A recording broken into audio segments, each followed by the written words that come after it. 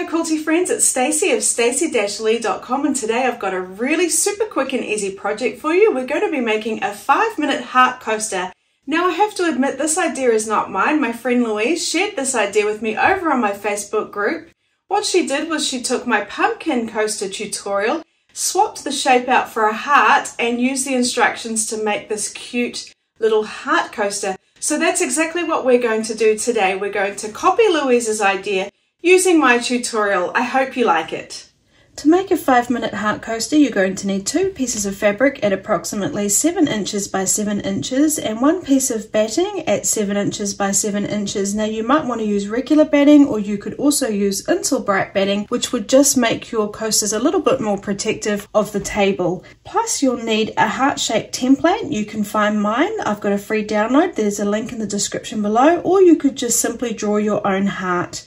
And of course you'll need a sewing machine, thread, pins, paper and fabric scissors. The finished size of our heart will be approximately 5 inches by 5 inches. So I've got my heart template and like I said you can find that in the description below. All I'm going to do is cut it out just outside that black line there.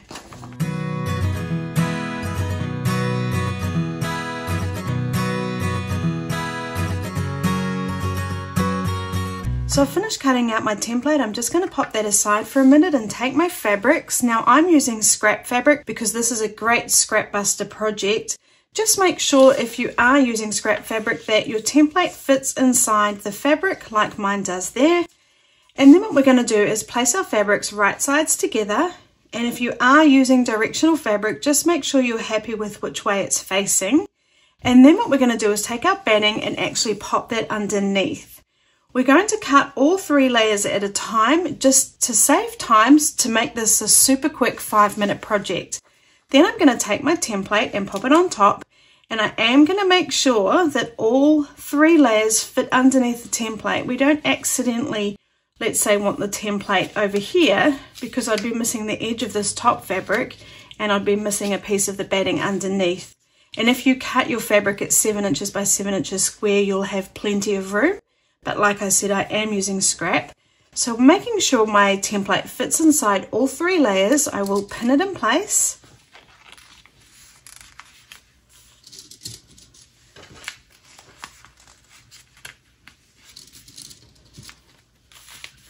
And we want our template to be sitting flat. We don't want it all warped or out of place, which it does get a little bit warped from putting the pins in, but we want to make sure it's as flat as possible with those pins in and then once we're happy that it's pinned nicely what I'm going to do is take my fabric scissors and cut around the edge of my template creating our heart shape so I'm being careful not to cut the paper and then we can use our template many times we're also getting a nice heart shape if I just cut right next to the paper template.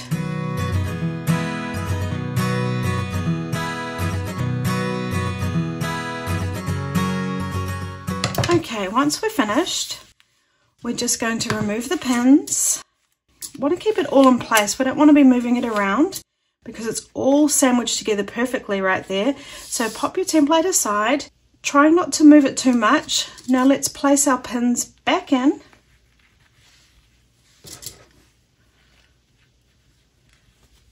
Making sure all those three layers have stayed how they were.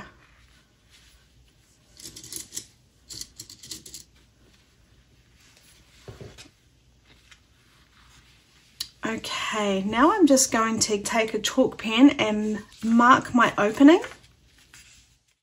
So all I'm going to do is take my template, place it back on top, and then when, where I can see these two dots here, I'm just going to lift it up and put them approximately in the same place. Now it doesn't have to be perfect, it's just showing us where we're going to start sewing, go all the way around, and then stop. So now what we're going to do is just sew along that edge. Like I said, starting here, going all the way around and then stopping here. So today I'm using glide thread. I've got my stitch length at 2.5 and I am using a quarter inch foot. Uh, just work out the best guide for you to get that quarter inch. And I'm going to start, oh that pin's in the way. I'm going to start right on that dot and stitch forward a few stitches and then do a back stitch. I like to do that so that when you turn it right sides out, it doesn't pull at your stitches. So then when I come to the edge, I'll make sure my needle's down, lift my foot up and turn. And now what I'm going to do is carry on around the shape of my heart. So when you come to the curved part, just take your time and try and line up your whatever is your guide with the edge of your heart there and then if you find you can't quite get around you can always just stop make sure your needle's down lift your foot up and just turn your heart a little bit just to get around corners if you are struggling.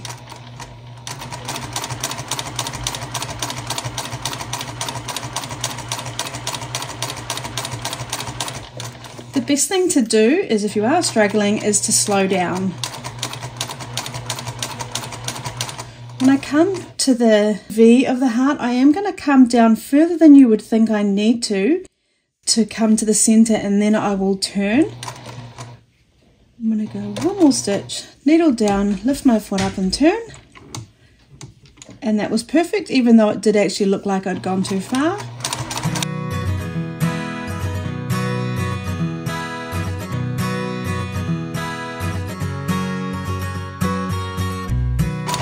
And now I can see I'm coming up to the dot that I drew, so then I'll just do a back stitch and go forward, cut my thread and finish. Now what we're going to do is cut off all that excess. So now just trim your threads and then what we're going to do is just trim some of the bulk off. So particularly around here when we turn it right sides out, this part here will be very bulky. We want to take a little bit off the corner here and then also up the top here. I find it easier just to sort of take, come along and cut this whole side off. Being careful not to cut my stitches because they're going to be more ornament, ornamental than washed a lot. So I find it doesn't really matter. Or if you don't want to do this, you could clip um, little pieces out like this, which is the more traditional way of doing it. Again, just being really careful not to accidentally cut your stitches. That's just a personal preference. I, because like I said, we're not going to wash it a lot. I just prefer to just cut it off like that. And then, doesn't matter so much here, but just on this corner here, I will just cut a little bit off so it's not so bulky. Okay.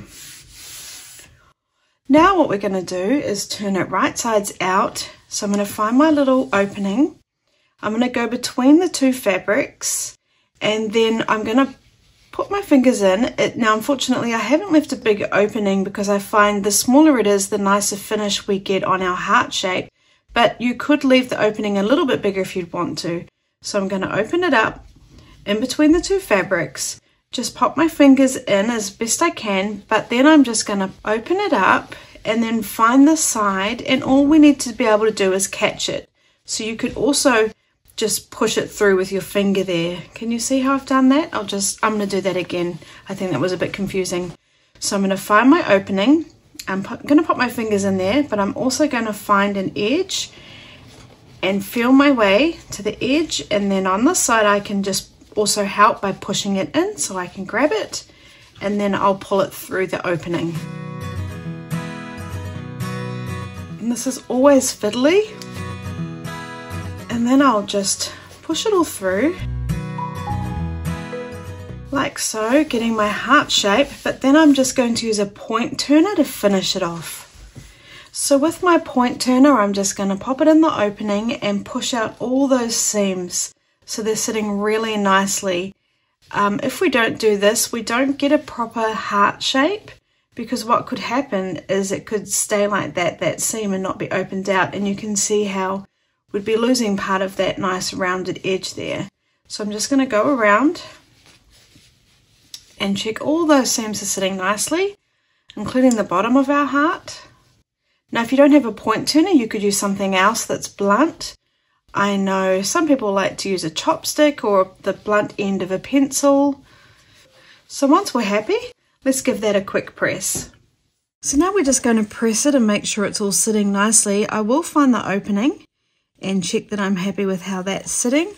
And because they are going to be reversible, you might just want to check on the front and the back. So that's looking pretty good to me. So let's give that a press.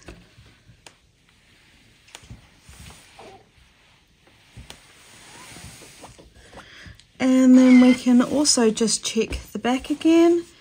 Make sure that's sitting nicely, especially the opening there.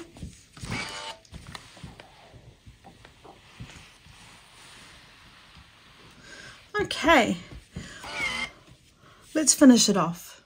So if we take a look at this one that I've already finished, the next thing we're going to do is stitch around the edge doing our top stitch which just makes it look really nice and tidy as well as closing up our opening and then we will do a little bit of extra stitching just to make it look super cute and quilted. So all I'll do is take my chalk pencil. We know that we'll go around the edge of the heart, but then I'm just going to draw how I'm going to do my quilted detail. Now you can do it however you'd like, but I find it looks cute to start from the very bottom, come up and echo the shape, and then I come across and all the way over and then back down to where we started. It's very hard to see in this light. And then we come up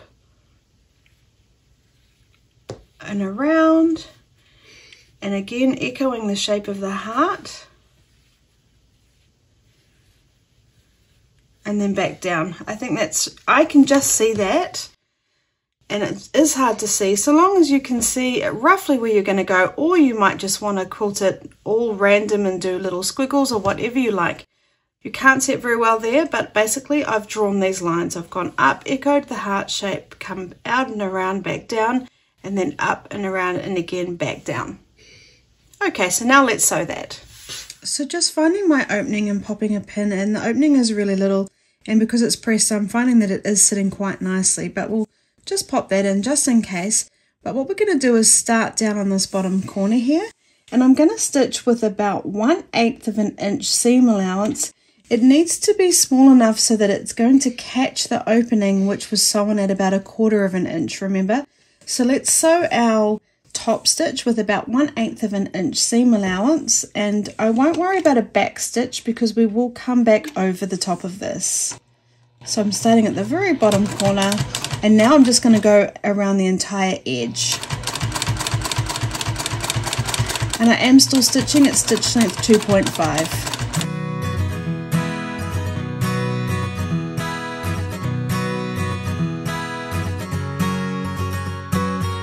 Now it is best to always sew around those curves, curved edges but once you come into the V you might need to just stop, leave your needle down and lift your foot up and turn a little bit and if you get stuck on some of these curves, you can also do that.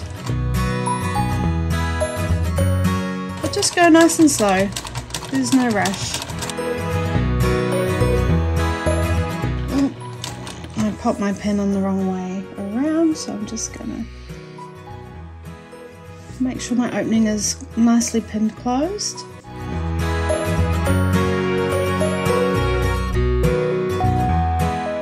Okay, and coming back down to the point where I started, now I need to make sure my needle's down, lift my foot up and just turn so I can follow that echoed heart line that I drew.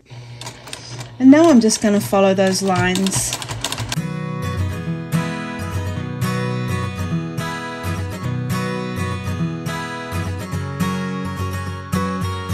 So I've come coming right back down to where I started leaving my needle down, lifting my foot up and turning it. And now I'll just carry on and follow that second line that I drew.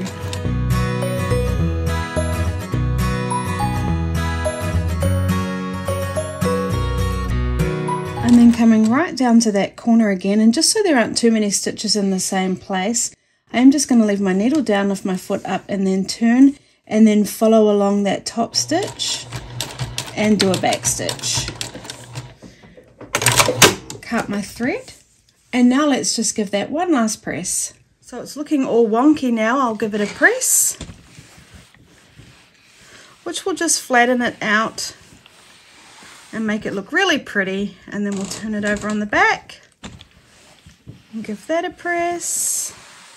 And then I will just tidy up these threads by just trimming them. Okay, that solved that. And there we have our finished heart. So there we have my 5 minute heart coaster tutorial. Now they're perfect for Valentine's Day, but they'd also be perfect any time of the year just by changing the fabric up to suit the season. Thanks so much for joining me. If you've got any questions, make sure you leave them in the comments below. Don't forget you can find my free heart-shaped template over on my website. I'll put a link in the description below and I'll see you again next week.